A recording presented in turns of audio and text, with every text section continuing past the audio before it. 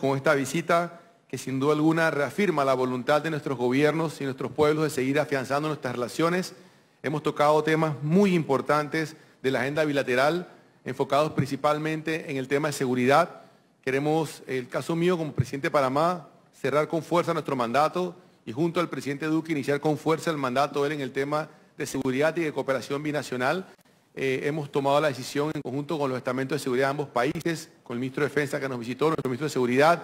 de establecer un, bloqueo permanente con las capacidades que Panamá ha adquirido en los últimos años eh, en coordinación con las fuerzas públicas colombianas para luchar frontalmente contra el narcotráfico, la interdicción y sobre todo el asegurar una frontera segura para que de esta forma nuestros países puedan avanzar en su desarrollo económico y darle un golpe cada día más fuerte a estos grupos irregulares que operan en nuestras fronteras. Hemos avanzado mucho en la agenda de seguridad, Agradecemos al presidente Duque y al gobierno de Colombia toda la cooperación que siempre se ha dado en lo que es materia de seguridad hacia la fuerza pública panameña. Y es un gran honor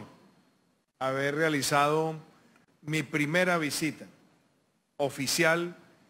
a esta hermana República de Panamá que queremos tanto. Me complace porque hemos tenido una relación muy larga y muy fructífera entre nuestros dos países, presidente. Creo que el hecho de hacer esta primera visita oficial como presidente de los colombianos y hacerla a Panamá ratifica nuestro deseo de seguir fortaleciendo los lazos entre estas dos naciones. Yo quiero decir que uno de los temas más importantes que se trataron hoy es el tema de la cooperación en materia de seguridad. Y quiero felicitarlo, presidente, porque lo que usted le haya imprimido a ese tema, con su vocación, con su deseo de reafirmar la seguridad como un valor democrático y como el mecanismo para garantizar el pleno ejercicio de libertades en un país es determinante.